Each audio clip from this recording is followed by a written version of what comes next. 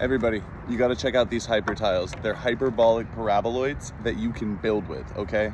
So if you look at this, you take your individual tile and you take your C connector and you connect the C connector anywhere that you want and you start to build the tiles together. And you can choose to build these tiles together and connect them in any number of different ways that I'll let you find out for yourself. But the best part about these is that if you have more than one kit, you can build even bigger, massive super sculptures with hyper tiles. I have so much fun building all of these different, really crazy, unique geometrical configurations. You know, it's wild because the hyper tile is really just like a twisted square. So anything that you build with a twisted square, you could build using hyper tiles.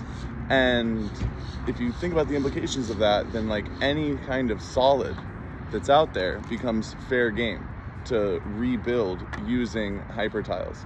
This that I'm building for you right now is called the Flexi Loop, and it's one of my favorite things in the hyper tile universe because if I put every connector together in an opposite format like this, and I do eight of them in a row like that, then there we go. You can build a flexi loop just like that.